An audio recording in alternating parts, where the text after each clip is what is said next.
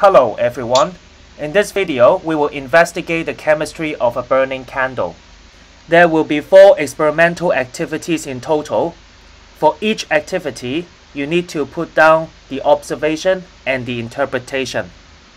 Please refer to your lab menu and without further ado, let's get started. Before we start looking at the procedures, let's have a closer look at the burning candle. You can also refer to the diagram in the first page of your lab menu. Different area of a candle flame shows different colors. At the top we have the yellow zone. Right above the wick we have the dark zone. Right below the wick we have the blue zone. After observing the candle, let's move on to some questions. The first question is, where does burning actually take place? Is it on the wax? Is it above the wax? Is it at the wick? Is it on top of the wick or some other places? So we are interested in the exact location where burning takes place. For the second question, which is the hottest part of the flame? Is it at the middle of the flame? Is it at the top of the flame? Is it at the surrounding of the flame? Or if you refer to different color or different zone of the flame, would it be the blue part or the red part or the yellow part or maybe the dark part? That is the hottest part. So this is our second question. The third question is, are there anything present inside the flame? So the flame appears to be a moving body of yellow and red, but then is there actually thing inside the flame? Are we able to take it out? This is our third question. And the fourth question is, I will add this one down here. What is the thing that is actually burning. So we know the candle burns, but there are solid wax, there are liquid wax, there are wax vapor, or maybe other thing. So what is exactly that is burning in a candle flame? Uh, what is kept burning so that the flame can sustain on top of the wick? This is our fourth question. And to answer these four questions, we will perform altogether four demonstrations. And from the result of those demonstrations, perhaps we are able to find the answers about these four questions. So now, let's go ahead and do the demonstration.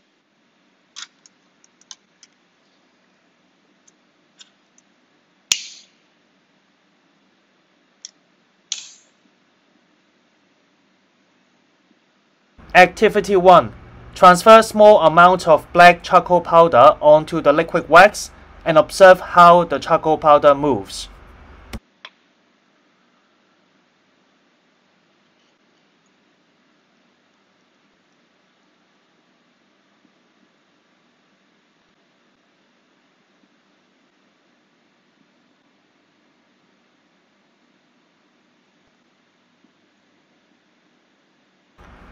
The black charcoal powder moves towards and up the wick.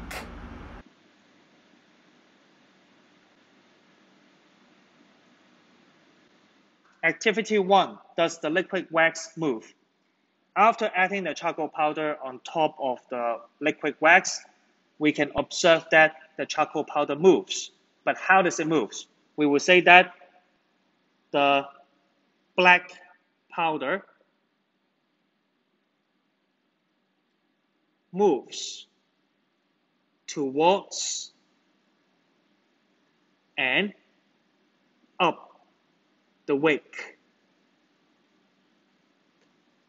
Move towards the wake and go up, climb up along the wake. Now, you notice that we use the word black powder instead of charcoal powder because for observation, we are writing down what we actually see. Now, interpretation. Interpretation means that what we can tell from the observation. So from the observation, judging from the fact that the black powder moves towards and up the wick, it tells us that the liquid wax also move towards and up the wick. So let's put down.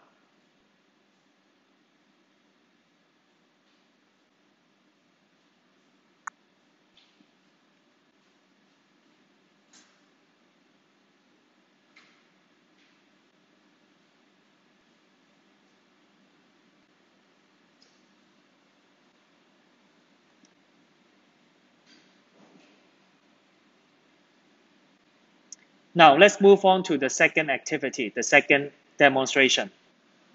Activity 2. Prepare a paper cardboard. Lower the cardboard to the flame for 1 second and quickly lift it up.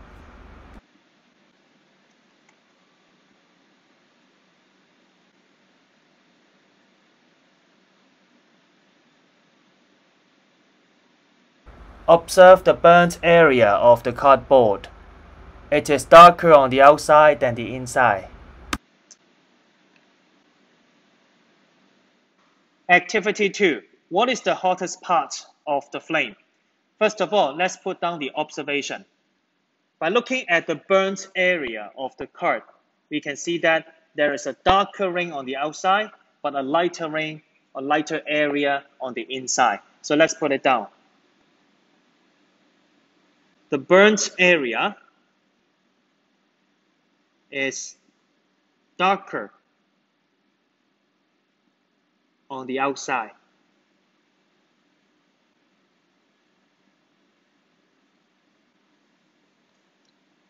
Now, what does this observation tells you, especially regarding the temperature of the flame? Since it is darker on the outside than the inside, as you can tell, the paper, the cardboard, should have experienced a higher temperature on the outside than the inside. So that tells you that the outside of the flame is hotter than the inside. So you can put down the outside of the flame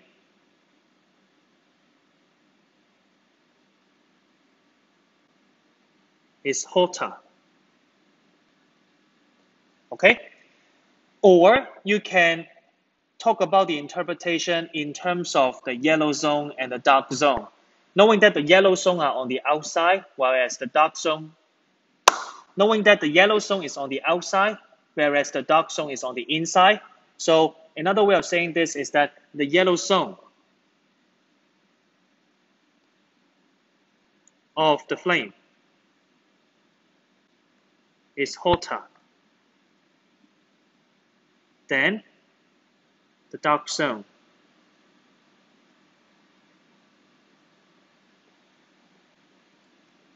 So two different ways for the interpretation. Now on next page, we are going to draw the burnt area of the cardboard. You can simply draw two circles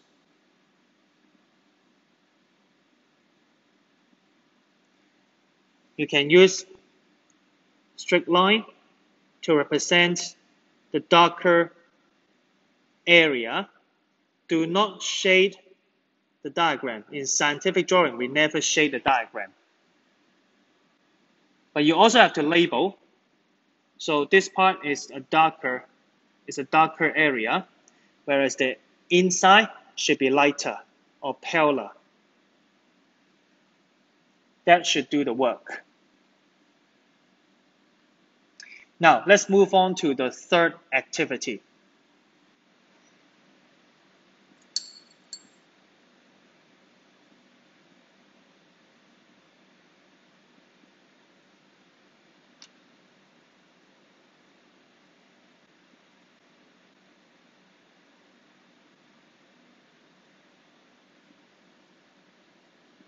When the glass tubing is placed in the yellow zone of the flame, black smoke is collected.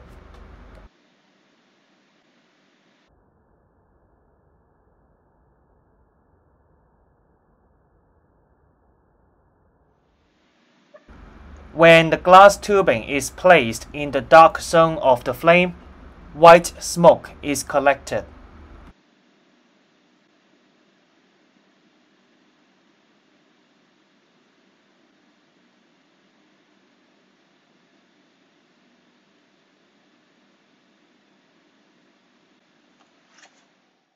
Activity 3. What is present in the yellow zone and the dark zone? We try to extract anything inside the flame in the yellow zone, in the dark zone, using a glass tubing. First of all, if you put the glass tubing in the yellow zone, what do we get? We get some black smoke. So you can put down black smoke is obtained.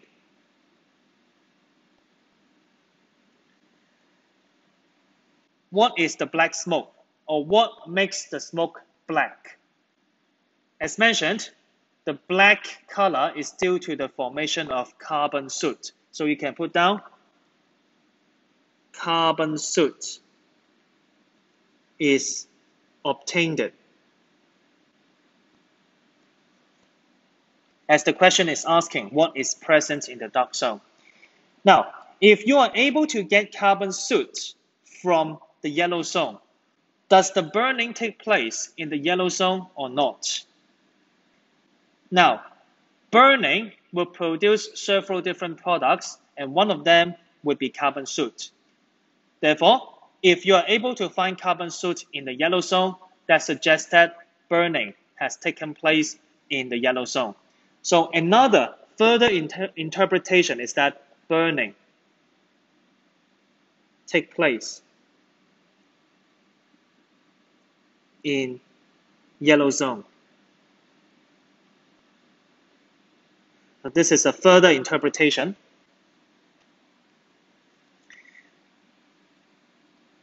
Similarly, let's look at what we can get from the dark zone.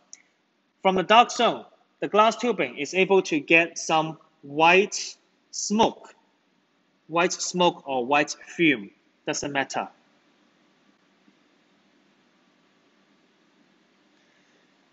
Now, what is the white smoke? In fact, the white smoke is the wax vapor. Not only the wax vapor, but the wax vapor that is condensed in the inner wall of the glass tubing. As you can tell, the wax vapor in the flame should be quite hot, and the inner wall of the glass tubing should be much cooler than the flame. So when the wax vapor is extracted by the glass tubing, and when it come across with the cool inner wall of the glass tubing, they start to condense. So the condensing wax vapor appears to be white smoke. So let's put it down. The interpretation is wax vapor is obtained. Okay? If you are able to find wax vapor in the dark zone, what does it tell you about the burning? Does burning take place in the dark zone? Well, if burning does take place in the dark zone, do we still see the white smoke? Do we still see the wax vapor? Probably not. So that tells us that burning hasn't taken place in the dark zone. So you can put down a further interpretation. No burning takes place in dark zone. No burning takes place in the dark zone.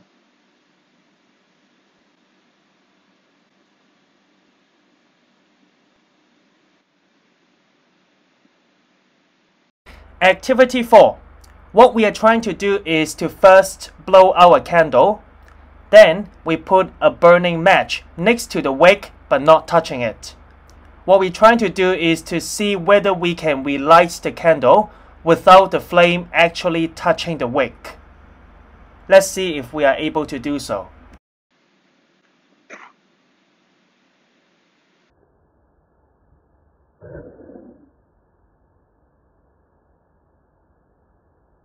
The candle relights.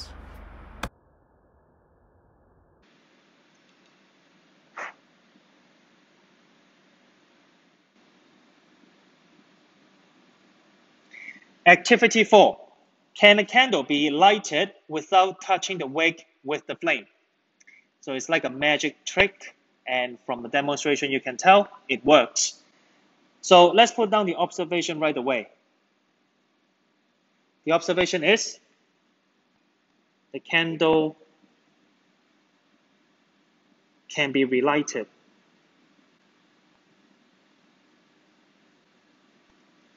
If you take a closer look at the candle that has just been extinguished, as we put the flame close to the wick, you notice that it is the lingering, lingering wax vapor that is first catch on fire. Then the flame kind of propagate, kind of move back to the wick and relights the candle. So what we can tell us is the thing that is actually burning in a burning candle is not the liquid wax, not the solid wax. It should be the wax vapor. It is the wax vapor that is keep burning so that the candle can sustain its flame. So let's put it down. The interpretation is the wax vapor is burnt by the match. Or you can use the word ignite. Ignite means start a fire. All right, let's go ahead and finish off the conclusion. Can you explain the burning of the candle from all the findings in the above activities? During burning, the solid wax melt to form, so you see the word melt, this one has to be liquid wax, which is absorbed and moves what to the top of the wick. So moves up, moves up to the top of the wick where it is vaporized So vaporize, then it becomes wax vapor. Okay? And the wax vapor is white in color. The white smoke is found in the dark zone. Remember the third activity. And it is not burnt yet. Not burnt yet. If it's burned, then you should be able to see the black smoke. So why it hasn't burnt yet in the dark zone? Well, burning requires not only the fuel, but also the oxygen. In the dark zone, where the fuel, the wax vapor, is not exposed to enough oxygen, not exposed to enough air. So that's why burning doesn't occur yet. However, with such a high temperature, it expands and meets the oxygen in the air, and therefore they are able to burn and forms carbon soot and other products. The carbon soot is responsible for the black smoke. The carbon soot is responsible for the black smoke. So black smoke is found in the yellow zone. Yellow zone. On burning, it gives out heat and is the hottest part of the flame. So the yellow zone or the outside of the flame is the hottest part, as you can see from the burnt area of the cardboard in activity 2. So that's it for the candle experiment and that's it for the video.